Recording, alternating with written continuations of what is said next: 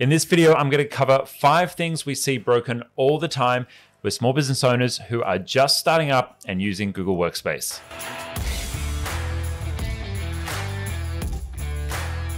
So, if you're a small business owner and you've started using Google Workspace, you may have set it up in a number of different ways. Uh, maybe it was configured from a hosting provider like a Wix or a Squarespace, and you clicked one button and just automatically set things up. Uh, or maybe you had a friend or a colleague, or you, maybe your web designer set up an account for you. Maybe you signed up yourself because you were sick of using Hotmail or Gmail and you wanted to move over to the business version of Google that everyone's been talking about. Now, what we see is for many business owners who are in this stage of business is that they're not really that all that techo. You don't necessarily know the difference between an A record and an MX record when it comes to DNS settings, and that's probably not the most important thing for you to be worrying about anyway. What we see is business owners wanting to get work done with technology tools and trying to do it themselves. And we're a business that helps small business owners to do less of the tech yourself and rely on experts so you can focus on your business.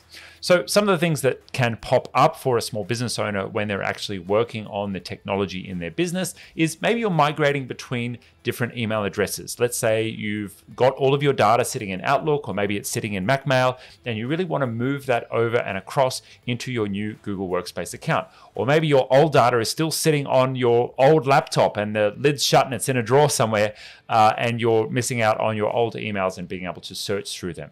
Some other issues that we see happening pretty commonly is if you're interested in setting up an auto forward or maybe even an auto reply from your new email address, and you're trying to work out how to get that working correctly.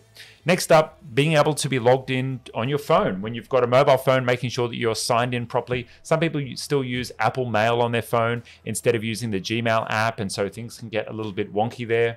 And then we see some pretty obvious ones being missed around collaboration. So if you're an early stage business owner and you're starting to hire your first few staff members, not actually setting up correct shared drives inside of Google Drive, and not using a task management system for managing tasks with your team. Now, when we see business owners getting these things wrong, business can end up in a little bit of a mess. It can feel like everything's going wrong and nothing's really organized. And you've got new team members starting but you know maybe you don't have a correct process for onboarding them. If you're managing a task management system just on a whiteboard in your office or maybe you're just managing it inside your head or maybe you're even using a chat program to do your to-dos with your team then you probably don't have one place to know where all of your team's work is happening what's complete what's incomplete and where your team are actually up to with the tasks that you've delegated to them Worst of all, if you're sharing things from your Google Drive and you haven't set your sharing permissions properly, sometimes you can even lose data where a contractor creating files for you